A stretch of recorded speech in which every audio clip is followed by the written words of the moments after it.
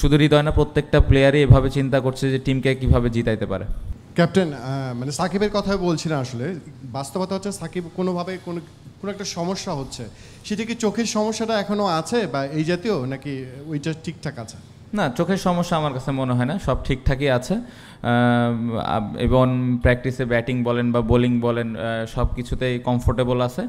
Just একটা দুইটা innings এই ফরম্যাটে একটা দুইটা ইনিংস খারাপ হতেই পারে। সো এটা নিয়ে আসলে বাড়তি কোনো চাপ অ্যাজ এ ক্যাপ্টেন হিসেবে আমি ফিল করছি না এবং আমি এটাও জানি যে সে নিজেও ওরকম চাপ ফিল করছে না, আমি কারণ অনেক এক্সপিরিয়েন্স এবং খুব ভালোভাবে কাম ব্যাক করবে আমার কাছে সেটা মনে হয়।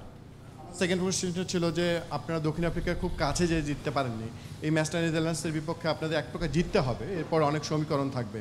মানে সেই জায়গায় কি ভাবছেন সুপার এইট নিয়ে এই জায়গাটা?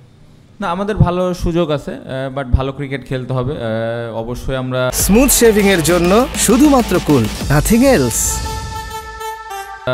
জেতার জন্য খেলব।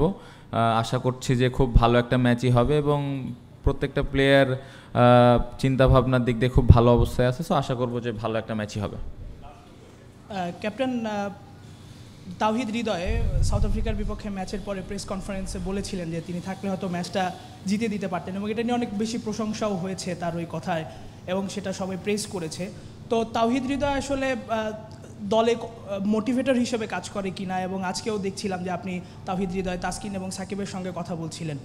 মানে তার দলে আসলে সেটা, এটা মোটিভেট করে কিনা তার কথা কিংবা তার পারফরমেন্স না খুবই ইম্পর্ট্যান্ট আমার মনে হয় যে কথাটা বলেছে, অবশ্যই সে রিয়ালাইজ করেছে যে তার খেলাটা হয়তো শেষ করে আসা উচিত ছিল।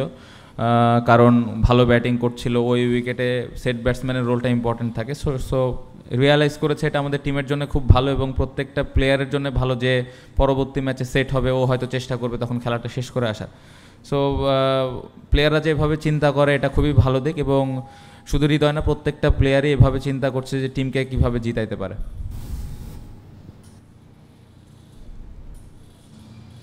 ক্যাপ্টেন, এই মাঠটাতে বাংলাদেশের অনেক ভালো স্মৃতি আছে। তো সাকিব সাকিব ভাই মাহমুদুল্লাহ ভাই, তারা, তাদের কাছ থেকে এই মাঠের কি কোনো গল্প শুনেছেন এই আসার পরে?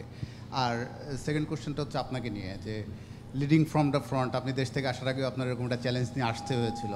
আপনি নিজের পারফরমেন্স বা আপনার কাছে আপনি কি ফিল করছেন একটা বড় কিছু পাওনা আসলে হয়ে গেছে এবং এটা right time to click Shakib ভাই, রিয়াদ ভাইয়ের কাছে হ্যাঁ এই মাঠ সম্পর্কে শুনলাম যে সাকিব ভাইয়ের মনে হয় প্রথম ক্যাপ্টেন্সিটা এই মাঠ থেকে শুরু হয়েছিল। আমার যতটুকু মনে পড়ে, সাকিব ভাই বলছিল যে মাসে ভাই হয়তো ইনজুর্ড হয়ে গেছিল মনে হয়। সো হ্যাঁ হয়েছে। রিয়াদ ভাই মনে হয় পাঁচ উইকেট আছে টেস্টে সো হ্যাঁ আলাপ হয়েছে এই মাঠ সম্পর্কে।